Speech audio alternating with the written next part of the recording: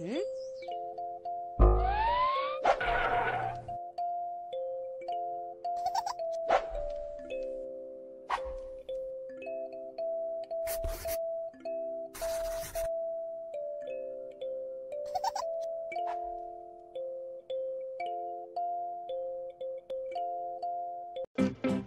የሚጀምረው ሁለት አስማታዊ ኃይል ያላቸው ጀግኖች በፓሪስ እየተደባደቡ ነው።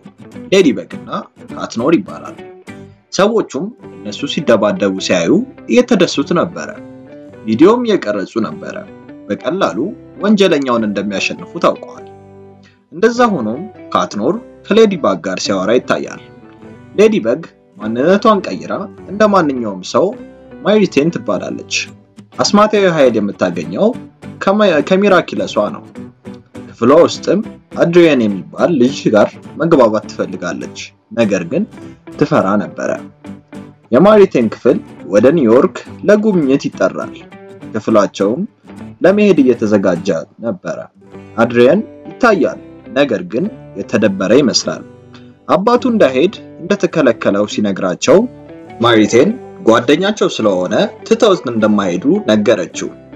የአድሪያንንም አባት ልታስፈቅድለት ሞከረች። አድሪያን በጣም ተደሰተ። የአድሪያን አባት ስለ ኒውዮርክ ዜና እያየ ነበረ። ለየት ያለ ሰይፍና የሚራኪለስ አንገት ጌጥም እዛ ሊታይ ነበረ። የአንገት ጌጡም የአስማታዊ ኃይል አለው። የቤቱ ደውልም ተደወለ። ብዙ ሕፃናት በር ላይ አየ። የአድሪያን አባት ማሪተንን አገኛት። ልጁ እንዲሄድም ልታስፈቅደው ሞከረች። አባቱም ወዲያው ፈቀደለት። የፈቀደው ግን ሌላ ድብቅ ዓላማ ስለነበረው ነው። ሌሎቹ ልጆች በጣም ተደስተው ነበረ። የአባቱ ድብቅ ዓላማ ልጁ ወደዛ እንዲሄድ የፈቀደው የሚራክለስን የአንገት ጌጥ እንዲሰርቅ አመቺ እንዲሆንለት ነበረ። ሌዲበግ እና ካትኖር አግኝታው ለትንሽ ጊዜ እንደማትኖር ነገረችው። ፓሪስንም እሱ መጠበቅ ነበረበት። እዚህ ጋር አድሪያን ካትኖር መሆኑ ይታወቃል። ነገር ግን ማሪትንም ሆነ አድሪያን አላወቁም። የተለያየ ህይወት እየኖሩ ነበረ። ማንነታቸውም አይተዋወቅም ነበረ። ጀግና መሆናቸውም ድብቅ ነበር። ሌዲበግ የሆነ መሳሪያ ሰጥታው እሷ እዛ ሳትኖር ችግር ከተፈጠረ እንዲደውልላት ነገረችው። አድሪያን ቤቱ ውስጥ ይታያል። አባቱም መጥቶ ከጓደኞቹ ጋር መሄድ እንደሚችል ነገረው። ነገር ግን ጠባቂውም አብሮት ይሄዳል። ይህ ለአድሪያን ችግር ነበረ። ለሌዲ በግ ፓሪስ እንደሚጠብቅ ቃል ገብቶላት ነበረ። ወደ ኒውዮርክ ከሄደ ፓሪስማ ሊጠብቅ ነው። ችግር ከተፈጠረ ምን ሊያደርግ ነው? የአድሪያን ሚራኪለስ ለማንም ሳይናገር ወደ ፓሪስ እንዲሄድ ሐሳብ ሰጠው። ሌዲ በግም እዛ ስለሆነች እንደማያታውቀው አስረዳው። ችግር ካለም በስልኩ ያየዋል አለው። የአድሪያን አባት ወደ አረፈችው ባለቤቱ ሄደ። እሱም የአንገት ጌጡን አግኝቶ ሌዲ በግና ካትኖርን እንደሚያሸንፍ ነገራት። ሚራኪለሱንም ሲሰጣት ትነቃለች ብሎ ያስብ ነበረ። በሌላ በኩል ተማሪዎቹ በራራ ላይ ሆነው ይታያሉ። ማሪትን ከአድሪያን ጋር ተቀመጠች። ልትግባባው ስትሞክርም ተወዛግባ ነበረ። ስለ ጓደኝነታቸውም ልታወራው ነበረ።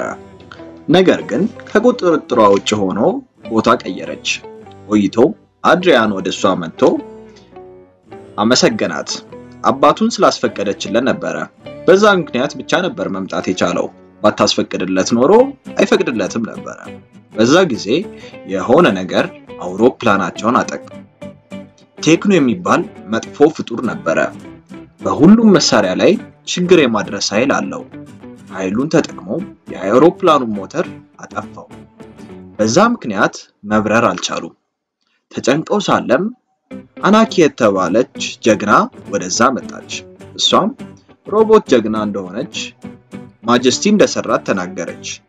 በዛ ጊዜም ሌሎች ጀግኖች ከእሷ ጋር መጥተው አዳኗቸው። በዛ ጊዜ ማጀስቲክ ወደዛ መታ የአውሮፕላኑን ብልሽት አስተካከለችው። ቴክኖ አውሮፕላኑን ሰብሮ ይሮጥ ነበረ። ሁለቱ ጀግኖችም ደረሱ። ናይትኦል እና ስፓሮ ይባላሉ። ናይትኦል ቴክኖን ሲይዘው፣ አናኪ ደግሞ ሞተሩን ኃይሉን በመጠቀም ገጠመው። ጀግኖቹም ቴክኖን ይዘውት ሄዱ፣ ለፖሊስም አስረከቡት። ተማሪዎቹም ኒውዮርክ ደረሱ። ወደ ሙዚየሙም ለመግባት እየተዘጋጁ ነበረ። አናኪ ተማሪዎቹን ለመጠበቅ አብራቸው ቆየች። እዛም ደረሱ። የማሪትን ጓደኛ ሰውየው ጎበዝ እንደሆነ ነገረቻት። ጀግና መሆኑንም አስማታዊ ኃይሉ ደግሞ ወደ ፈለገበት ቦታ በር መክፈት ይችል ነበረ። አናኪና ስፓሮ በዙሪያው ነበሩ። የማሪትን ጓደኛ ጀግናው እና ሌሎቹ ጀግኖች በኒውዮርክ መደበቅ እንደሌለባቸው ነገረቻት። እንደ ሌሎችም ማንነታቸውን መደበቅ አልነበረባቸውም። የአድሪያንስ አባትም ወደዛ ደርሶ ሚራኪለሱን አግኝቶ ነበረ። ተጠቅሞትም ምን አይነት ኃይል እንዳለው አየ። ስሙም ሃውክ ሞት ነው። በሱ ኃይልም ለሌሎች ኃይል መስጠት ይችላል። የአድሪያን አባት ከቴክኖ ጋር ስምምነት ፈጠረ። ሰይፉንና የአንገት ጌጡን ከሰረቀለት የበለጠ ኃይል እንደሚሰጠው ነገረው። በዛ ምክንያት ብዙ ቴክኖሎጂ መስረቅ ይችላል። ለቴክኖ ብዙ ኃይል ሰጠው። እሱም ያን ተጠቅሞ በቀላሉ ከፖሊሶቹ አመለጠ። ተማሪዎቹ እዛ ደረሱ። አድሪያን ስልኩን ሲያይ ትልቅ ሮቦት ፓሪስን እንዳጠቃ አየ። ማሪትም ዜናው ደርሷት ነበረ። ካትኖር እዛ ባለመኖሩ ተገርማ ነበረ። በዛ ጊዜ ቴክኖ ወደዛ ደረሰ። አሁን የበለጠ ኃይል ነበረው። አናኪና ስፓሮ ተፋለሙት።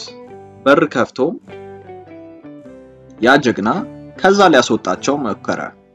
ትንሽ ቆይቶም አናኪና ስፓሮ እንዲወጡ ነገራቸው። ከመሮጣቸው በፊት ቴክኖ አናኪን ያዛት። ቴክኖ በኃይሉን ተጠቅሞ የእሷን ኃይል እየወሰደባት ነበረ። አሁን ፋይዳ ቢስ ነበረች። ማሪትን እና አድሪያን ይሄን አዩና አሁን ኃይላቸውን የሚጠቀሙበት ጊዜ እንደሆነ ተረዱ። ወደ ሌዲ በግ እና ካትኖርም ተለወጡ። ሌዲ በግ ስፓሮን አንስታ ስታየው ካትኖር ከፊቷ አየችው። ለምን ከፓሪስ እንደመጣም ጠየቀችው። ሰዎቹም ከሮቦቱ የሚያድናቸው አልነበረም። ካት ረዥም ታሪክ እንደሆነ ነገራት። አናኪንም ማዳን ጀመሩ። ቴክኖ እየሮጠ ነበረ። ካትና ሌዲ በግ ሊይዙት ተከተሉት። ካትኖር ተያዘና ቴክኖ አንጠልጥሎ ወረወረው። አናኪ ልታድነው ሞከረች፣ ነገር ግን ወደቀችና በቦታው አረፈች። ሮቦት መሆኗን ማጀስቲክ በንዴት ሁኔታውን ለማየት መጣች። ማጀስቲክ ቴክኖን አንስታ በኃይል መታችው። ሃውክሞትም የአንገት ጌጡን እና ሰይፉን በመያዝ ቴክኖን አምልጦት ሄደ። ማጀስቲክ አናኪን አቅፋት አለቀሰች፣ ምክንያቱም የእሷ ሮቦት ነበረች። ናይትኦል ወደዛ ደርሶ ሌዲ በግ እና ካትኖር እዛ ምን እንደሚሰሩ ጠየቃቸው። ሌዲ በግ ኃይሏን ተጠቅማ ሁሉን ነገር ወደ ነበረበት መለሰችው። አናኪም ነቃች። ቆይቶም ናይትኦል ሚራኪለሱን እንዲሰጣቸው ጠየቀ። ለሱ መስጠትም ስላልፈለጉ አመለጡ። ቱቦ ውስጥ ተደብቀውም ትልቅ ሮቦት ፓሪስን እያጠቃ እንደሆነ አዩ። ይህን ስታይ ሌዲ በግ ማልቀስ ጀመረች። ሁሉንም ነገር ለማዳን አልቻለችም፣ ምክንያቱም የእሷ አስማታዊ ኃይል ነገሮችን ማዳን ነበረ። ሀገሯም እየፈረሰባት ነበረ። ሮቦቱ በመጥፋቱ ነገሮችን ወደ ነበሩበት ለመመለስ አትችልም። ካትኖር የሱ ጥፋት እንደሆነ አሰበ። እዛው ቢቆይ ኖሮ ይሄ ሁሉ አይፈጠርም ነበረ። ሚራኪለሱንም ጥሎ እየሮጠ ሄደ። ሌዲ በግ ልታስቆመው ሞከረች፣ ነገር ግን አልቻለችም።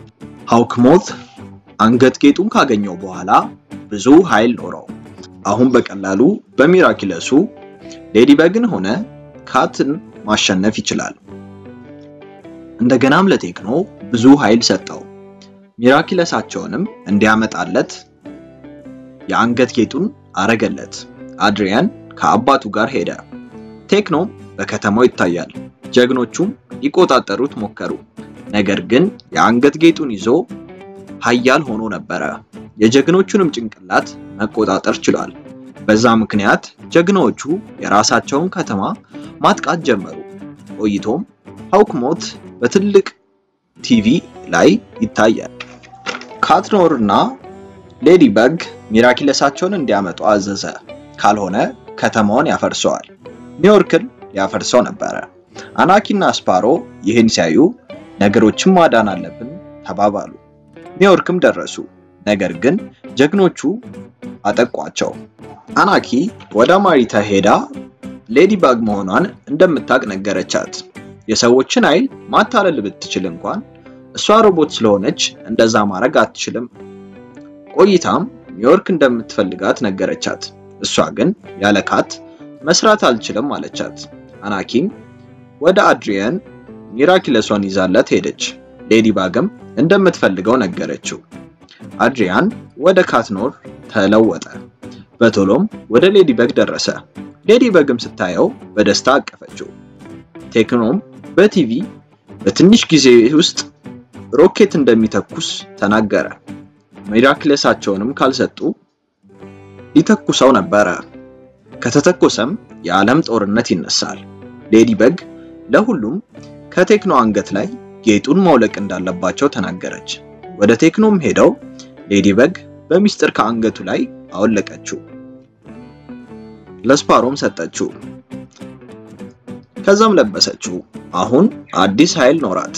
ቴክኖ ኃይሉ ሲጠፋ ጀግኖቹ ወደ ነበሩበት ተመለሱ። ቴክኖ ሮኬቱ ተኮሰው። ነገር ግን ማጀስቲክ ሄዳ ሮኬቱን ከዓለም አውጥታ ወረወረችው። ሁሉንም ነገር ወደ ነበረበት ተመለሰ። ሌሎቹም ጀግኖች ቴክኖን ያዙት። ሌዲ በግ ኃይሏን ተጠቅማ ሁሉም ወደ ነበረበት መለሰችው። ሁሉም ጀግኖች ሌዲ በግና ካትኖርን አመሰገኗቸው። በስተመጨረሻም ሃውክሞት በዚህ እንደማያበቃ ተናገረ። ሚራኪለሱን እንደ እስከሚያገኝ ድረስ እንደሚያጠቃቸው አስፈራራቸው። ፊልሙ በዚህ ሁኔታ አለቀ። ፊልሙ እንደተመቸዎ ተስፋ እናደርጋለን። በቀጣይ እንድንሰራለት የሚፈልጉትን ፊልም comment ላይ ያሳውቁን። እንዲሁም like፣ share፣ subscribe በማድረግ ድጋፎን ያሳዩን። እናመሰግናለን።